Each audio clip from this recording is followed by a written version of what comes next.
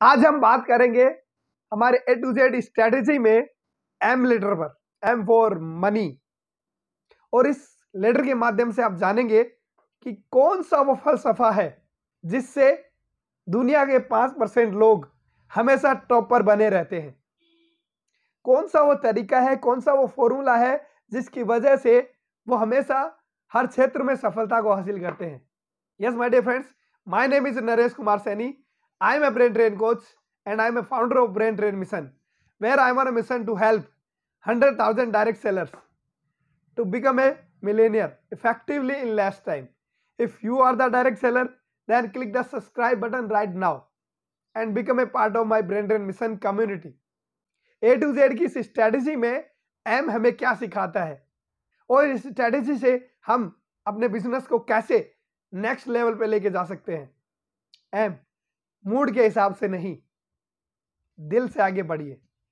ज़्यादातर लोग मूड के हिसाब से काम करते हैं, इसी वजह से वो 95 परसेंट रेशियो में रह जाते हैं। जो लोग अपने मूड के हिसाब से नहीं, दिल से काम करते हैं, वो अपने बिज़नेस में, अपनी जॉब में, अपनी लाइफ में हमेशा सर्वोपरि रहते हैं।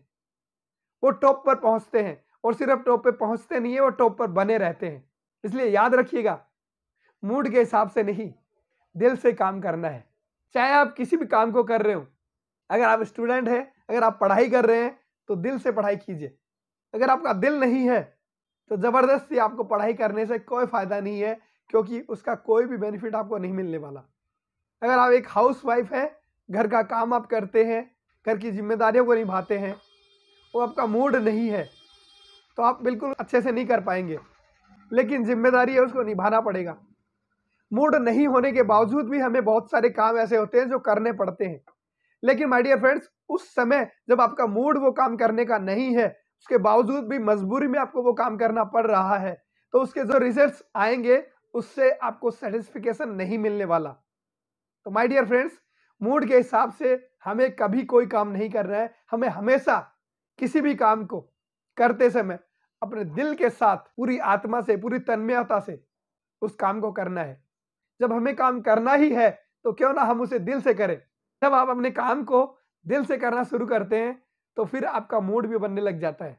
आप उस काम को करना पसंद करने लग जाते हैं। तो आज के इस स्ट्रेटजी में आपने सीखा कि किस तरह से पाँच परसेंट सक्सेसफुल लोगों की कैटेगरी में हम शामिल हो सकते हैं।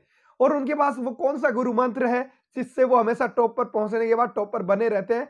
उम्मीद करता हूँ कि आप भी इस स्ट्रैटेजी को अपने बिज़नेस में, अपने लाइफ में लागू करेंगे। अप्लाई करेंगे और अपनी ज़िंदगी में जल्दी से जल्दी सफलता को अट्रैक्ट करेंगे। मैं आपके लिए दुआ करूँगा कि आप अपनी टीम के लिए रोल मॉडल बने और एक बेहतरीन रोड मैप बनाए अपनी पूरी टीम के लिए, जिस पर चलकर ज़्यादा से ज़्यादा लीडरशिप आपकी तरह मिलीनियर बने। आपके सभी सपने पूरे हो। अंत तक इस वीडियो को देखने के लिए आपको दिल से आभार। लाइक करना मत भूलिएगा। कमेंट करके हमें बताइए कि आज के लर्निंग आपके लिए कैसी रही। और शेयर करना मत भूलिएगा, अपनी पूरी टीम के साथ। बी हेल्दी, बी वेल्दी, जय हिंद, वंदे मातरम।